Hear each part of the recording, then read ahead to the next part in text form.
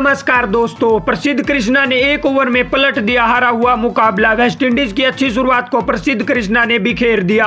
तो क्या है पूरे मैच का हाइलाइट्स, बताएँगे आपको इस वीडियो में। लेकिन दोस्तों, इससे पहले अगर आप भी इस मुकाबले को बिल्कुल फ्री देखना चाहते हैं तो डिस्क्रिप्शन में दिए गए हमारे टेलीग्राम के चैनल को ज्वाइन कर लें।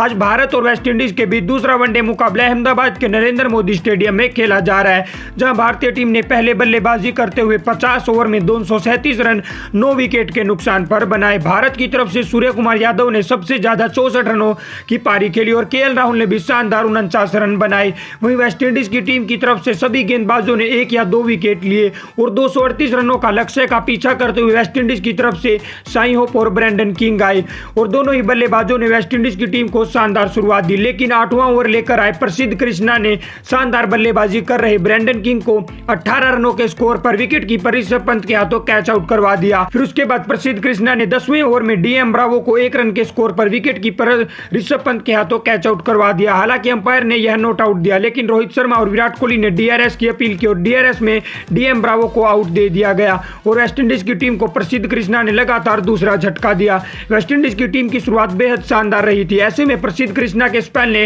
वेस्टइंडीज की पारी को मुश्किल में डाल दिया। फिर उसके बाद युजवेंद्र चहल ने भी सत्रहवें ओवर में साई होप को बाउंड्री पर सूर्य कुमार यादव के हाथों कैच आउट करवा दिया। वेस्टइंडीज की टीम को बावन रनों पर तीसरा झटका लग चुका था और प्रसिद्ध कृष्णा अभी तक चार ओवर में तीन रन देकर दो मेडन और दो विकेट ले चुके हैं और इन दोनों गेंदबाजों ने शानदार गेंदबाजी करके वेस्टइंडीज की टीम को बैकफुट पर धकेल दिया है। तो दोस्तों, ऐसी ही क्रिकेट की ताज़ा खबरों के लिए चैनल को सब्सक्राइब कर लें।